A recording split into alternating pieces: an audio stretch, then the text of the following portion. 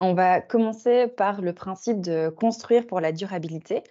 Alors, ce principe de construire pour la durabilité, c'est certainement l'objectif ultime euh, de tout programme de, coopération, puisque euh, construire des programmes, des plateformes encore des outils numériques durables, c'est essentiel si on désire euh, maximiser l'impact à long terme. Alors, le fait d'attacher de l'importance à cette durabilité, c'est important d'avoir en tête qu'on doit l'avoir, ce principe, dès le début de la création d'un programme. C'est très difficile en fait d'imaginer, euh, de penser à la durabilité si c'est simplement en fin de programme, puisque euh, il se peut qu'un programme soit à n'importe quel moment entravé euh, par des interruptions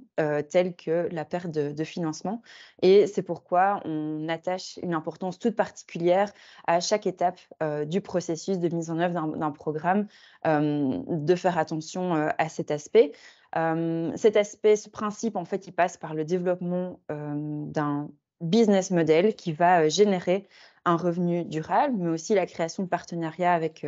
des acteurs ou des autorités locales, ou encore de pouvoir s'intégrer concrètement dans des stratégies nationales. Alors pour peut-être pouvoir clarifier ce principe, je vais donner un exemple, mais peut-être plutôt me focaliser sur un contre-exemple, donc quelque chose qui n'a pas été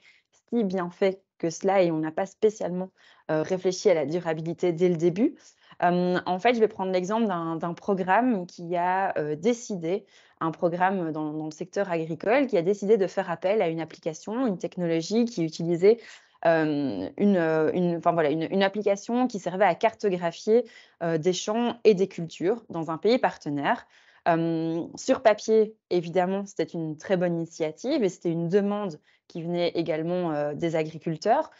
pendant la mise en œuvre, tout s'est très bien passé puisque la, solution était très bien accueillie. Mais au moment justement de, clôturer le programme, au moment de faire cet exercice de capitalisation et de sortie, en fait, même si les agriculteurs voyaient un, impact positif, les décideurs finaux n'ont ont décidé en fait de ne pas reprendre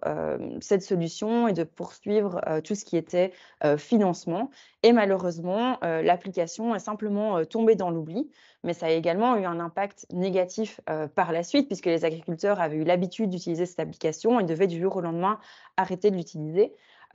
par cet exemple, ce qu'on veut démontrer, c'est que au moment de la rédaction, il aurait dû aussi avoir cet aspect de partenariat euh, davantage locaux et de réfléchir à vraiment avoir un, modèle qui pouvait permettre à avoir une sortie et un impact euh, positif durable, puisque au final, dans des programmes de coopération, euh, c'est ce qu'on ce qu'on désire atteindre. Donc ça, c'est un petit peu pour le, principe de durabilité.